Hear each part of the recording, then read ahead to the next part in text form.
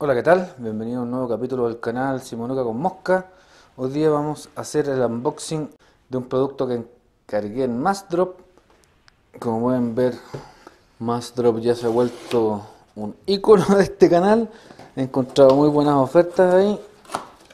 Y en esta oportunidad lo que estoy comprando es un kit para tener en el auto un sistema de cámara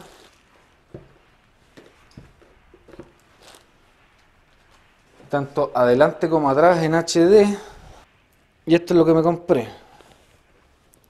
Esto es para utilizar el sistema de cámaras con el auto apagado y que la batería no se vaya de tal manera que si está en un estacionamiento o algo las imágenes queden capturadas. Y lo otro es la cámara. La ventaja de este drop en particular así se llaman las ofertas que hay en más drop es que la cámara era la DR650R12H. Sin embargo, Blackview dejó de fabricarla y a costo de más drop hicieron el upgrade a la nueva versión.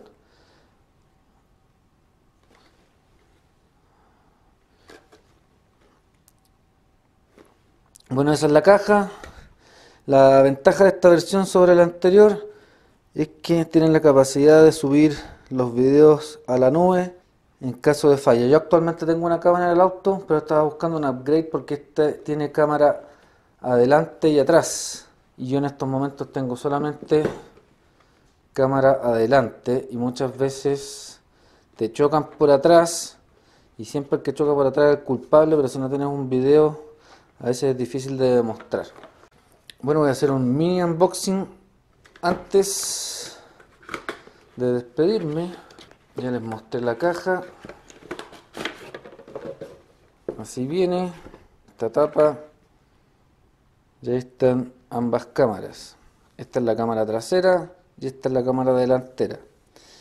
La ventaja de este sistema es que utiliza una sola tarjeta SD card que va acá adelante y esta cámara se conecta con la de atrás. Bueno, no les he comentado, pero este equipo tiene wifi, y puedo conectarme con el celular para descargar las imágenes, etcétera. Les voy a mostrar qué trae de más en el interior.